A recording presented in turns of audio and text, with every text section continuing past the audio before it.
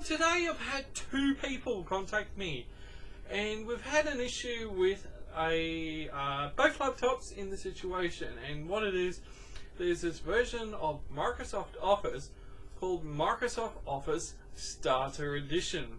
So, what is Microsoft Office Starter Edition? It's a crippled version of Microsoft Office pre-bundled with brand name laptops and brand name uh, desktop computers. So HP, Asus, Acer, um, typical example, example, sorry, Acer Aspire.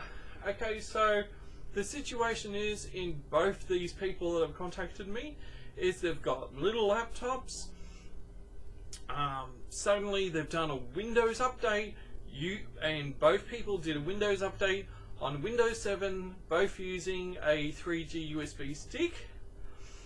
And suddenly they couldn't open their documents anymore. They've saved it using this Microsoft Starter Edition.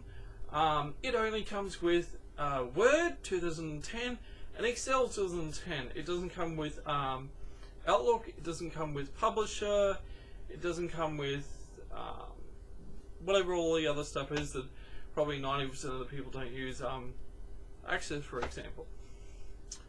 So the solutions that I've come up with is either a buy the full uncrippled version of Microsoft Office, whatever the latest year version is, uh, buy the Microsoft, uh, not Microsoft, sorry, Corel WordPerfect suite, uh, which is possibly cheaper.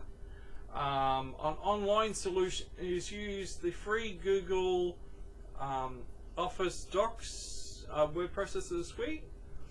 Um, but of course, being on a laptop, it's probably not suitable to use that because you need the internet all the time, and if you're using 3G stick, you don't have much internet. So, without spending any money, the three programs I would recommend is OpenOffice, LibreOffice, which um, is a slightly different version of OpenOffice, and Libre means open in French, I do believe, or AbiWord. And AbiWord is a very simplistic word processor, and probably not suitable for everyone, but I personally love it. So I would say to get everyone out of trouble, if you have this data copy and you want to be up and running really quickly, go grab OpenOffice or LibreOffice. They can be found on the internet. I will give you the link below. PortableApps.com have a version that runs off a USB stick. Now, why is that good? Because um, I actually have my USB stick on my keychain here.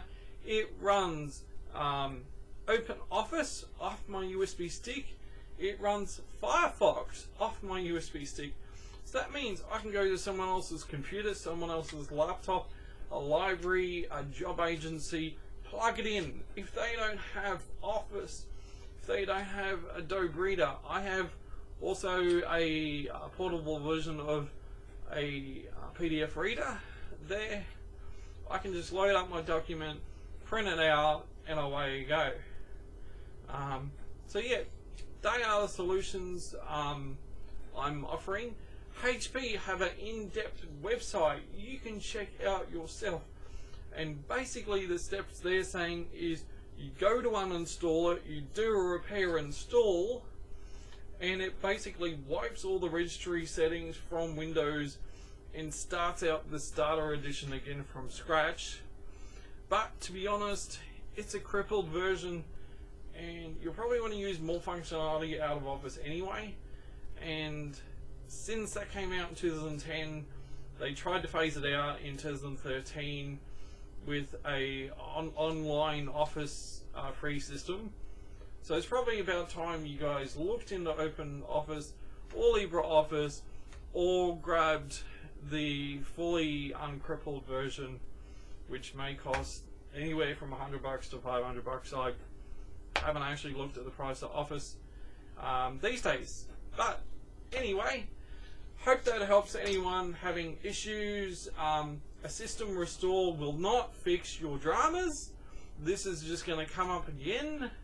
So yeah, thank you for watching. Please feel free to like, subscribe, comment below. Your feedback is appreciated, and thank you again for watching. Alrighty, have a great weekend.